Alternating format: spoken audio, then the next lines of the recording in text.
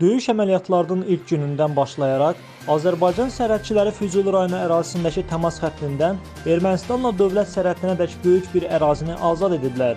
Bunu Dövlət Sərhəd Xidmətinin rəisi general-polkovnik Elçin Quliyev deyib.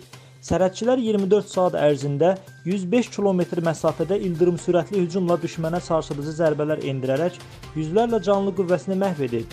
Qədim Xudafərin körpüsündə, Zəngilan rayonunun Ağbənd qəsəbəsində və Zəngilan şəhərində dövlət bayrağımızı sancıb, qızğın döyüşlər nəticəsində Ermənistanla dövlət sərhədində Bartaz və Şuşurartaz strateji yüksəkliklərini azad ediblər. Bu yüksəkliklərin azad edilməsi uğrunda döyüşlər zamanı bölmələrimizin üzərinə havadan həmlə edən Su-25 düşmən təyyarəsinin atıcı silahlardan açılan atəşlə məhv edilməsi də hərb tariximizə həkk olunub. AN-2 təyyarələrinin pilotsuz uçuş aparatları kimi modelləşdirilərək müasir döyüş elementləri sırasına əlavə edilməsi və xüsusi tətbiqi nəticəsində düşmənin hava hücumundan müdafiə sistemlərinin və digər strateji hədəflərinin aşkarlanaraq məhv edilməsinə nail olunub, general bildirib.